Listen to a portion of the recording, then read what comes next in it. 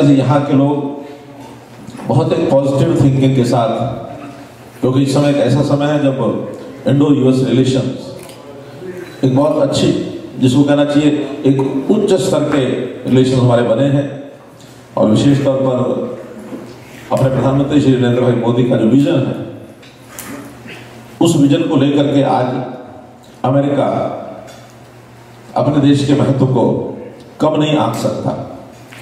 ये भी ठीक है कि नरेंद्र भाई मोदी के प्रधानमंत्री बनने से पहले तरह तरह की कंट्रोवर्सियाँ हुई थी, लेकिन उन सबको भी हमने पार किया है। और आज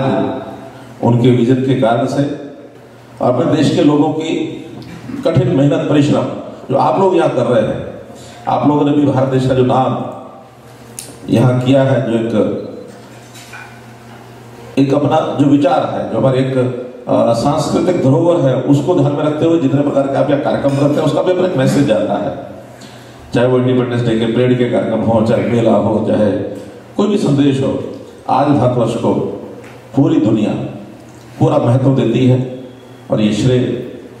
भारत में से आने वाले लोगों को उतना नहीं जाता जितना यहाँ पर स्थायी रूप से आप लोग वर्षों से जो मेहनत कर रहे हैं। आज के युग में जो नवयुग आता है, शायद उसको इतना पता नहीं है जितना आप लोगों ने यहाँ बीस बीस, तीस तीस, चालीस चालीस साल से जो मेहनत करके यार नाम कमाया है। इसका श्रेय आपको जाता है